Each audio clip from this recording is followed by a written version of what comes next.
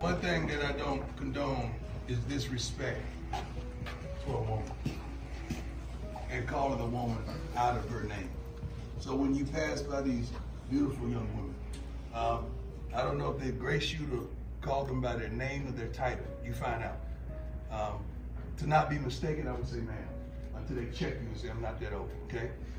But be courteous, be gracious, and be polite.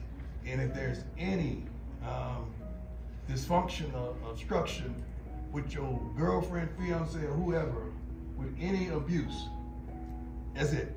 It's over. Don't call me. Don't have your mama call me. Don't call Rick. It's a wrap.